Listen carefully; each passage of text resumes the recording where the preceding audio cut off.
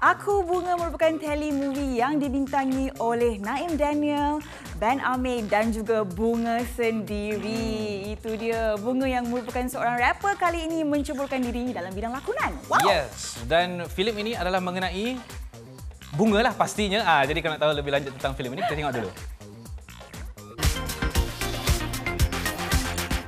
Okay, seperti yang semua sedia tahu, Bunga adalah seorang rappers. Kenapa tiba-tiba you nak terjun ke dalam uh, cabang lakonan pula?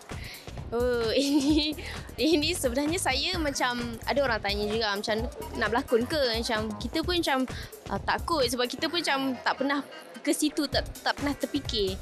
Tapi disebabkan KB dia datang approach bunga, uh, dia cakap macam ni. Kita pun terfikirlah macam alamak, alamak ah, kan.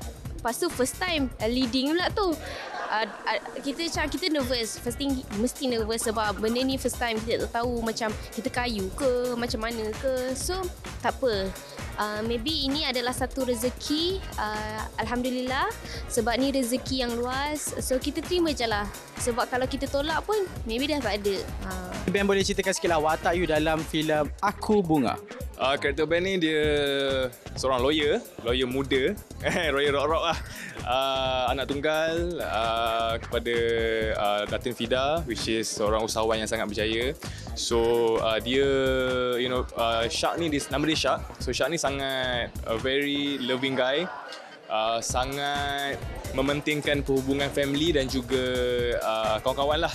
Uh, so bila dia jumpa dengan bunga tu tu yang dia start start bercinta sebab dengan mentality dan juga attitude um, bunga yang sangat humble, yang sangat you know uh, very understanding dan you know dia dia, dia cuba uh, create something walaupun dia tak ada apa. Uh, for me itu yang buat Shark rasa macam fall in love dengan dia lah. Okay, untuk uh, uh, cerita Aku Bunga ni, maybe Naim boleh sharekan sikit you punya watak and also cabaran masa buat filem ni. Naim memegang watak sebagai seorang uh, kawan kepada bunga, Kaho namanya.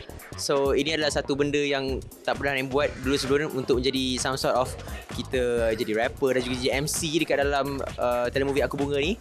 And it's a very fun experience for me to work with uh, Bunga and also Ben Amir sebab masing-masing sangat-sangat committed dengan kerja masing-masing and to be working again with Mr. Kabiwatia sebab he's just like a dad to me. Memang dah berkecil dengan dia sampai besar.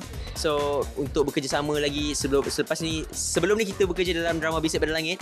So now kita datang dengan naskah Aku Bunga pula and I just can't wait for everyone untuk saksikan uh, telemovie Aku Bunga ni di Astro First eksklusif.